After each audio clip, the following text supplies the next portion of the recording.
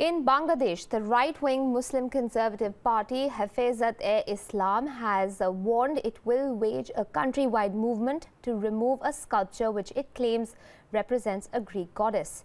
WION's Bangladesh Bureau Chief Saad Hammadi sends this report.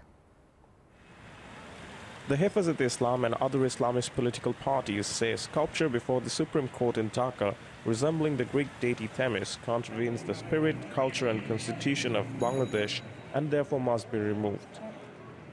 Supreme court প্রাঙ্গণে যে Greek দেবীর মূর্তি স্থাপন করা হয়েছে, আমাদের দাবি হচ্ছে এই মূর্তিটি অনতি বিলম্বে অপসারণ করতে হবে যে এটি একটি গ্রিক দেবীর মূর্তি, বাংলাদেশের কৃষ্টি কালচার, এদেশের সংখ্যাগরিষ্ঠ মানুষের ধর্মীয় অনুভূতির সঙ্গে সাংঘর্ষিক কোনোভাবেই বিনদেশি একটি কালচার কিংবা বিনদেশিদের কোনো বিশ্বাস কিংবা চেতনা আমরা লালন করতে পারি না However, legal practitioners say that the sculpture personifies the universal aspiration towards justice.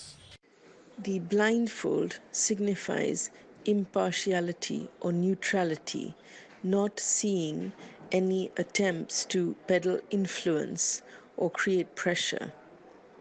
The scales of justice signify equality, giving each side to any kind of dispute an equal hearing and an equal opportunity to establish their position.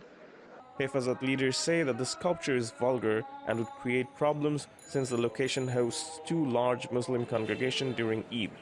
The party's demand lends credence to the view that conservatism is growing in Muslim majority Bangladesh despite the government professing secular values. Hifazat says that the sculpture is hurtful to most Muslims and has warned it will wage a countrywide movement unless the Bangladesh government removes the statue. Four years ago, the Chittagong-based Hifazat took out a long march to Dhaka with a 13-point list of demands calling for a ban on installation of sculptures in the city, termination of government policy on women, making Islamic education mandatory in schools, and introduction of a blasphemy law. While Hifazat and other right-wing Islamist parties say that this sculpture contravenes the culture, spirit and the constitution of Bangladesh, legal practitioners say that it only represents a universal symbol of justice. In Dhaka, this is Saad Hammadi for WION.